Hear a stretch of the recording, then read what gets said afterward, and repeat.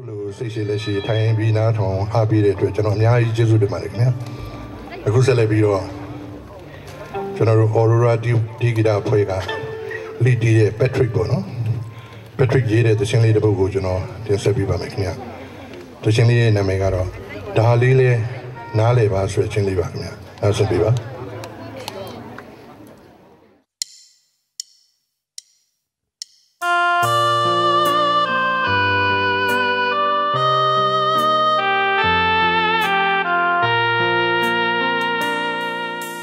တိတ်ချစ်ကြတဲ့ရတွေကြာလာခဲ့ပြီမေတိတ်ချစ်ရတဲ့မင်္ဂလေးကိုအပေါ်မယုံနိုင်ပါလားမပြေဝလဲပဲမင်းကိုမနှင်းချစေခြင်းလို့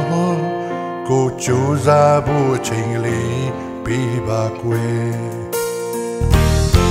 ကိုတေးရစတဲ့ မဆိုးလေးနဲ့ကိုအားလျှော့တတ်တဲ့မထင်လေးနဲ့မခေါ်ရဲ့လို့တော့မဟုတ်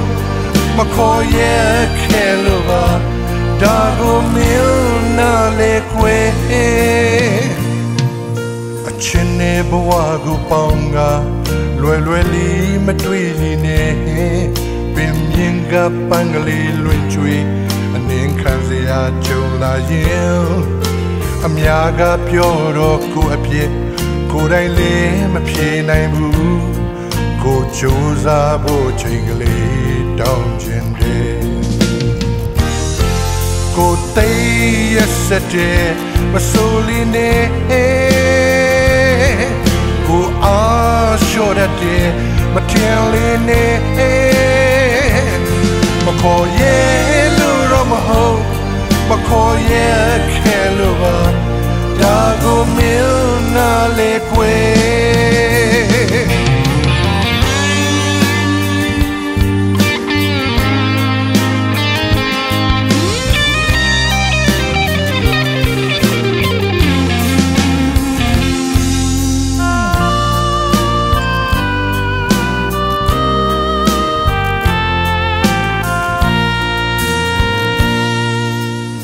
တစ်ခုလုံးအနေက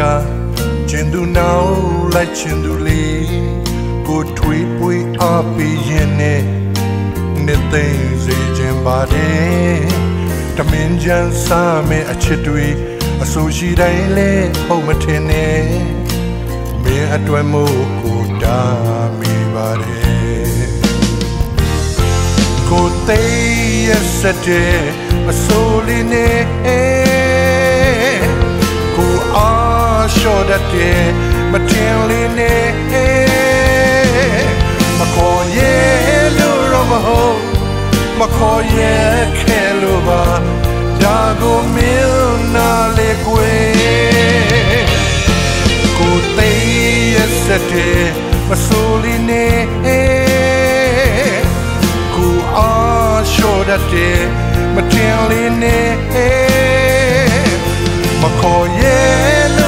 ဟုတ်မခေါ်ရဲ့ခဲလို့ပါဒါကိုမင်းနာလေကွယ်မခေါ်ရဲ့လို့တော့မဟုတ်မခေါ်ရဲ့ခဲလို့ပါဒါကိုမင်းနာလေကွယ်